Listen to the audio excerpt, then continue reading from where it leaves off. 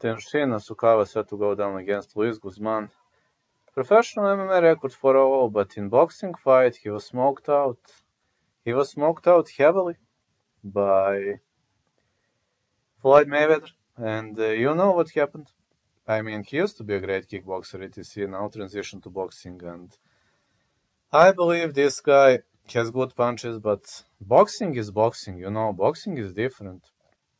Can't use kicks you're moving yourself differently. 10 to 0, his opponent, Luis Guzman. Luis Guzman has excellent counters and he is very good with his left hand.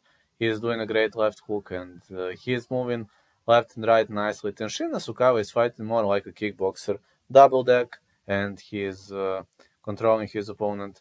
We've seen good uh, good matchups in like uh, RIZIN and in other promotions.